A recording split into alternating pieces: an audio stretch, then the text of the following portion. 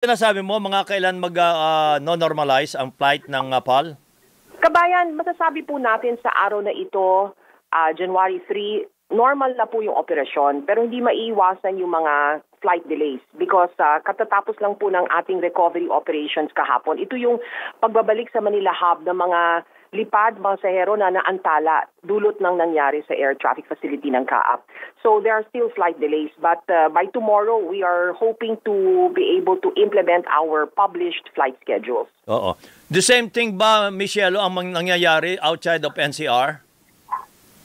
Yes, uh, yes and no. No, I believe that ang uh, Davao Airport, uh, which was also affected, they have resumed their normal schedule. So yung ating flights to Davao are following flight schedules. Yung sa Cebu, I think there are also flight delays. Now, the reason why we are aware of this, because of course, yung radar system po uh, issue affected uh, the 13 raiders of the country. So pati yung mga intra-domestic flights out of Cebu, apektado. But uh, basically, kabayan, uh, in all our hubs all over the country, uh, restoration na po, transitioning to full normalcy already. Oo, pero kanina may mga pasahero pa rin na naghihintay pa raw, mga January 6 pa ang kanilang alis?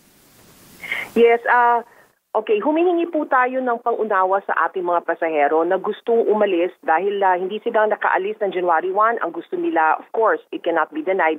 They want to leave uh, Manila or the uh, stranded stay or the station where they are stranded, ASAP, no, ASAP. Pero ito po ay peak season. So punuan po yung ating mga flights.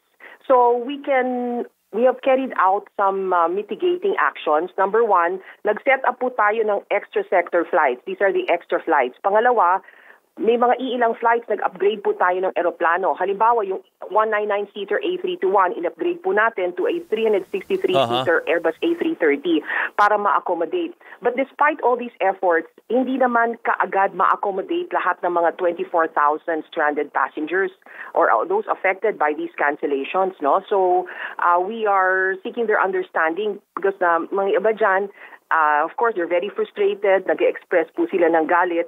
Uh, but we are, our frontliners are explaining that these are the available flights. No, uh, it will, they will be reaccommodated as soon as possible. But nakikita po natin down the line, this will take a period of uh, one or two weeks bago ma-clear yung backlog.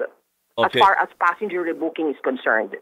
Eh, paano ang ginagawa naman nating assistance sa kanila, mga pasahero? Okay, yung ating mga pasahero kabayan, inassure po natin na the moment they do decide which flight to rebook on, waive po yung uh, rebooking penalty fees. They can rebook within 60 days from their original flight date.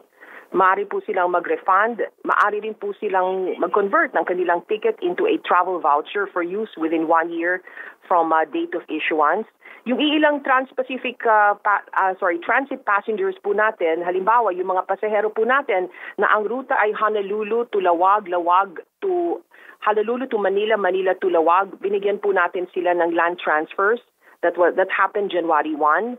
And then as I mentioned earlier, yung ating mga extra sector flights uh, domestically and internationally. That is what we did, Kabayan. And the rest of our passenger base, uh, they rebooked uh, by way of the uh, portals, no? Our, through our PAL hotline number and through our ticketing offices. And of course, through our self-reaccommodation portal. Maari po silang mag-rebook on their own uh, through our Managed by Booking portal on www.philippinairlines.com. Okay. Sige, maraming maraming salamat, uh, Miss Shelo, at uh, Happy New Year.